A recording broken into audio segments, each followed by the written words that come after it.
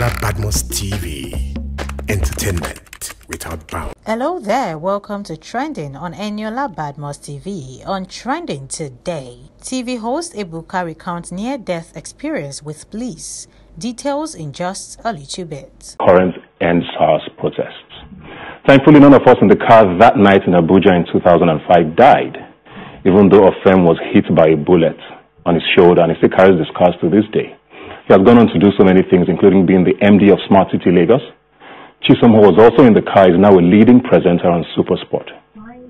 Nigerian lawyer and media personality Ebuka Obi Uchendu, without missing words, has come out to recount his near-death experience with operatives of the now-defunct Special Anti-Robbery Squad SARS. In a video he shared on social media, narrated how he and some of his friends were were almost killed by SARS officials in 2005.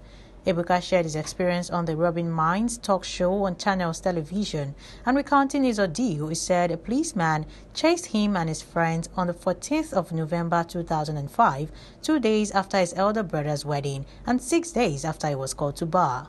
Ebuka said it was one of the chilling moments of his life because they were chased into a police ambush and was lucky to have escaped, given that a list of victims who weren't as lucky had lost their lives due to police misconduct and brutality. Here is the video. But many other Nigerians haven't been as lucky as us to stay alive today and fulfill their dreams. Kolade Johnson was killed by the police. Anita Akapson was killed.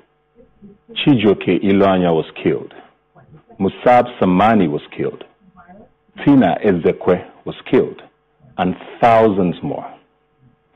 So when Nigerians talk about end SARS, it's not just a hashtag on Twitter. It has been our reality for far too long.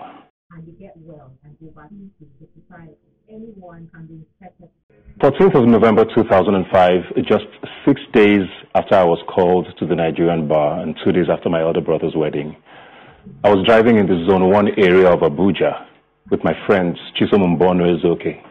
And Ofem Ofem when an unmarked car drove ahead of us and blocked my car off. Then a man in plain clothes came out of the car with a gun and pointed it at us. Of course, my instincts kicked in, and uh, I thought he was an, I thought he was an arm robber. So I kind of found a way to maneuver and speed off. He jumped in his car and chased after us. I wasn't sure where I was going, but I just kept driving. And at some point, we found ourselves on the Olusegun Obasanjo way when we noticed he had chased us into an ambush laid by policemen. Well, at least there was a police truck parked right beside what looked like six to ten men holding guns and blocking the road. And then in what is still the most chilling moment of my entire life, we watched the men raise their guns at us and open fire. We found out later that there had been several reported robbery cases in the area at the time, and our dead bodies would have been paraded as the guilty armed robbers. Now, 15 years later, on the 3rd of October 2020, a young man, Joshua Ambrose, was allegedly thrown out of a moving car by members of the Special Anti-Robbery Squad in Ughelli in Delta State, and that has sparked up the current End SARS protests. Thankfully, none of us in the car that night in Abuja in 2005 died even though Ofem was hit by a bullet.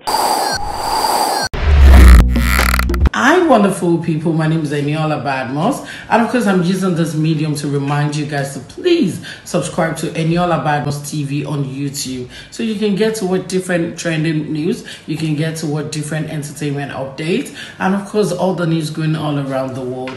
Guys, do not forget to turn on your notification so you can get to watch all of our content. Thank you so much, guys. And guys, please do not forget that there's pandemic in the land.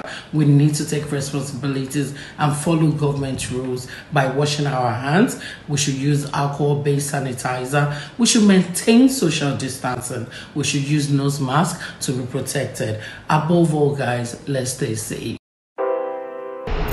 And that's all we have for you today on Trending. Remember to like and subscribe to Eniola Badmus TV. See you soon.